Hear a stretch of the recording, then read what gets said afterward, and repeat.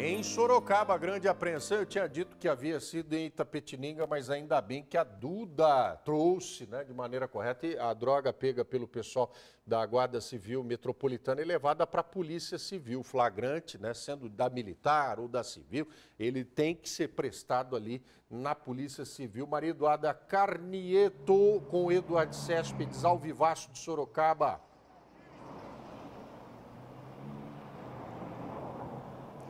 Isso mesmo, Rodrigo. Inclusive, a gente está na frente do plantão policial aqui da Zona Norte, onde essa ocorrência foi registrada. Tudo começou quando a equipe da Guarda Civil Municipal estava fazendo um patrulhamento ali no Parque São Bento. Eles viram uma movimentação um pouco estranha, próxima a uma construção. Aí a equipe então desceu do carro e chegou a entrar nessa construção que parecia estar abandonada. Logo no primeiro cômodo tinha um pedaço de madeira.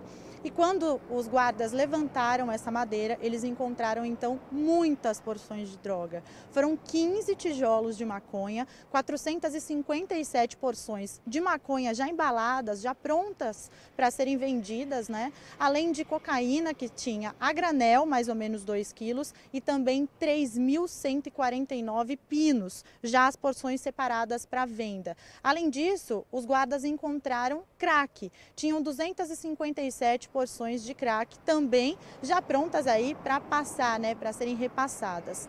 A polícia então deu uma volta ali dentro, olhou os outros cômodos dessa construção e os guardas então encontraram outros itens que eram usados pelos bandidos para fazer essa divisão das drogas, pegar aí a droga a granel e separar em porções. Então foram apreendidas anotações, balança de precisão, os tubinhos mesmo, 14 mil embalagens vazias que seriam usadas usadas para droga, além de até rádios comunicadores.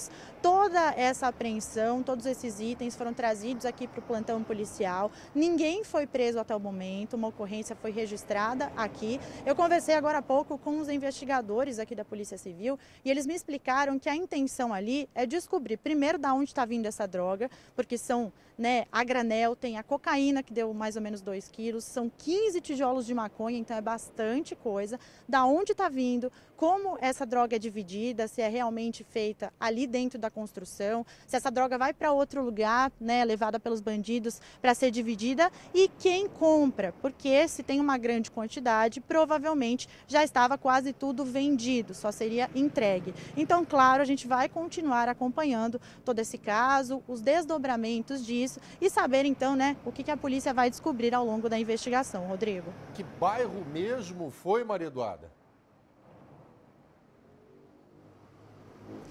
Parque São Bento, Rodrigo. Parque São Bento. Nós tivemos até essa semana participação lá do Parque São Bento no Flagrou, tá na Record já já. É uma primeira cirandeada com muitas participações enviadas ao 997450940.